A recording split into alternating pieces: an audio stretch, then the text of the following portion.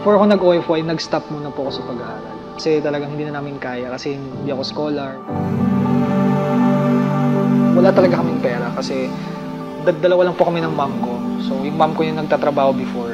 And then may nag-refer sa akin na try ko sumali sa OFY. Kaya po nung time na yon napunta ako sa OFY as scholar. And ngayon po, ah, proud mentor na po ako ng OFY. Super importante po ng ah, music sa akin. Ayun yung livelihood ko po ngayon. Dumami po yung opportunities ko. Like, marami pong na- nakakilala sa akin. na, Uy, ikaw di ba yung from OFY? Pwede ka ba tumugtog sa amin? Ganyan. Hanggang sa lumaki ng lumaki yung, yung circle of friends sa music po. Marami pong events, gigs, gano'n. Thankful ako talaga dahil sa OFY. Masaya ka na, kumikita ka pa, and then talagang full package importante din pong ma-share natin yung mga natutunan natin. Kasi kung natanggap mo lang din yung natutunan mo for free, and then I think you should share it din eh. Wala naman downside po sa pagturo eh. di ba? Lahat pa tayo sasaya, di ba? As a mentor, nakikita ko po yung ah, benefits na nabibigay ng OFY sa amin.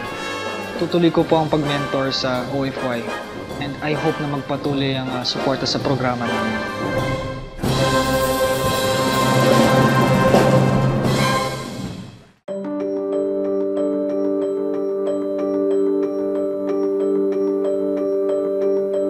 Kahit sobrang layo ng aming binabiyahe, napakadami naming makukuha in return. Kahit papuyat kami, pagod kami, uuwi naman kami ng masaya. Napakalaking tulong nun sa music natin. Hindi natin makukuha yung level na meron tayo ngayon dahil sa OFY. World-class na teachers. Magagaling talaga. Magaling na teachers. Hindi biro. Mga performance sa CCP, Metropolitan, conductor natin. Si Gerard pa ang ating conductor. Bali po yung mga kuya ko, sinali po ako sa Wi-Fi.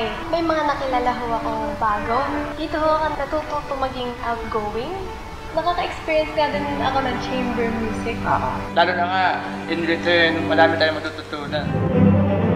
Tayo as a family, since tayo tumutugtog tayo magkakasama, may mga banding, same thing kapag kasama na natin yung orchestra. We get to know each other more, mas lumalalim yung relationship natin.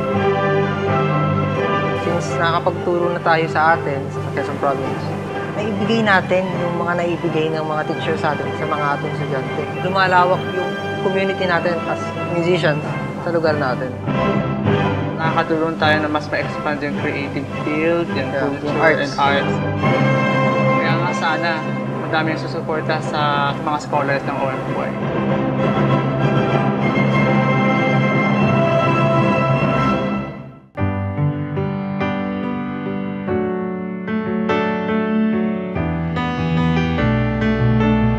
Unang-unang beses natin na nagpunta dito sa OFY, tayong tatlo, hanggang ngayon tayo pa rin. Nakakatuwa lang na yung growth natin bilang individuals ay mas gumanda. Mula noon hanggang ngayon, nandito pa rin tayo. Nagtutulungan tayo sa orchestra. Um, lahat ng challenges na naranasan natin dito, kasama natin yung isa't isa. Pwedeng ma-relate yung friendship natin sa orchestra, no? Katulad sa orchestra, tinuro sa atin na dapat makinig sa bawat isa. And then, katulad naman sa friendship natin, pinapakinggan din natin yung bawat isa. Napakalaking bagay talaga ng chemistry pagdating sa orchestra kasi dahil magkakilala na tayo, hindi na tayo nagkakailangan, hindi na tayo, parang hindi komportable sa isa't Komportable tayo magtanong pag nahihirapan tayo sa mga pyesa. Hindi tayo para mahiya magtanong kung paano ba tong part na to kasi alam mo hindi tayo husgahan ng kaibigan natin. Sa pagsali sa OFY, hindi ka lang sasali as an individual, pero madedevelop yung friendship and samahan ng orchestra. Sana magpatuloy pa po yung support sa mga scholars gaya po namin kasi po marami po talagang matututunan. Sana maranasan na rin po ng mga susunod na scholars yung mga naranasan po namin magagandang bagay dito sa OFY.